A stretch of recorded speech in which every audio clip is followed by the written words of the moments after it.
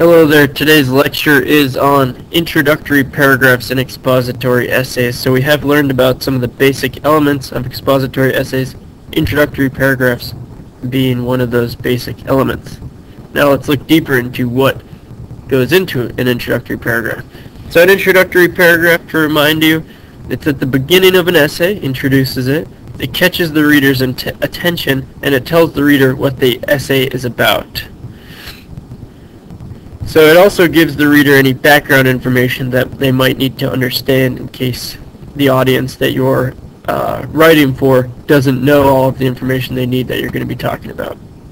So what does an introductory paragraph include? It includes your thesis, which tells what the essay is about. It includes your hook, which gets the reader's attention. And it also includes background information, like I just said. So what I'm going to tell you later, I'll tell you more about the thesis later in another lecture, and I'll tell you more about background information later. Right now, though, what I'll tell you about is hooks, different types of hooks, and some of the different techniques that the pros use. So there's kind of five different types of hooks that I want to look at, five different kinds. There's the history hook, the anecdote hook, and I'll talk about what each of these means, the surprising statement, the famous person, and the declarative. So let's look at history. What does that mean? If you give a bit of history on the subject, you can hook a reader with that. So here's an example. Let's say that I'm going to write an essay about graphic novels in the classroom. I would give a brief history of comics or what a graphic novel is. So just a little bit of historical information, a little bit of origin information on the topic, just to catch the reader up and get them interested in the idea anecdotal. An anecdote is a tiny story. So an anecdotal intro is just a little tiny story and you don't let it take over your paper.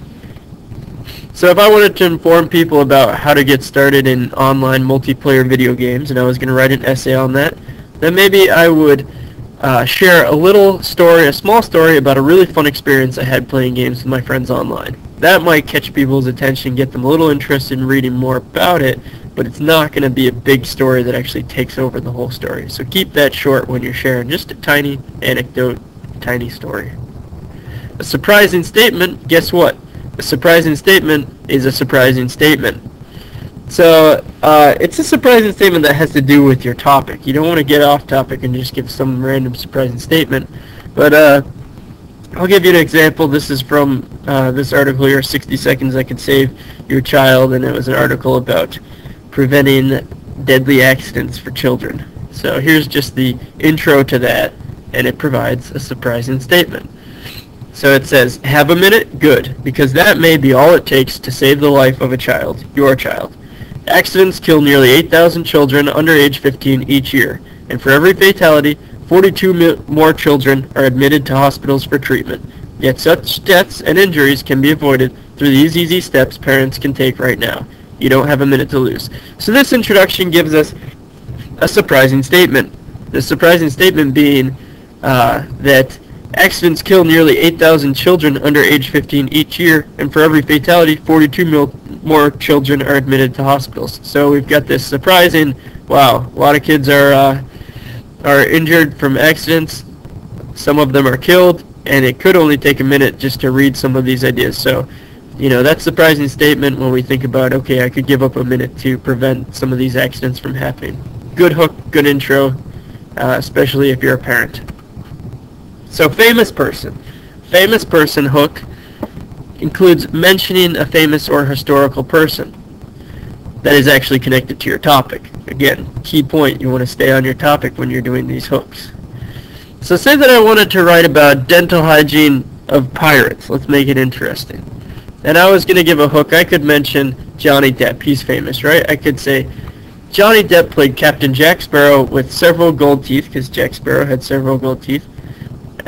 So, so Johnny Depp, who played Captain Jack Sparrow with several gold teeth, actually has a couple teeth made of silver in real life. That would be if I were to ever write an essay on the dental hygiene of pirates. That might be a, uh, an intro that actually has to do with and mentions mentions a famous person and kind of gets some of your interest. So maybe I could get your attention that way. Maybe.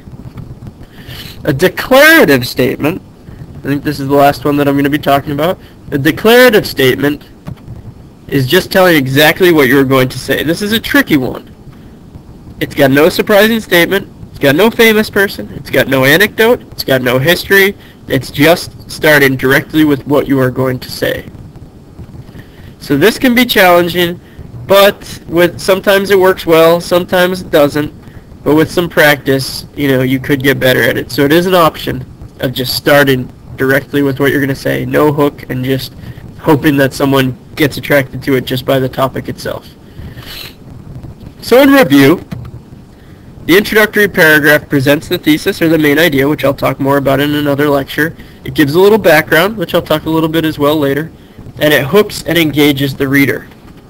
So with those hooks, those types of hooks, we looked at about five different types of hooks today. We looked at uh, ones that professionals use when they're writing expository essays or when they're writing essays for magazines for publishing.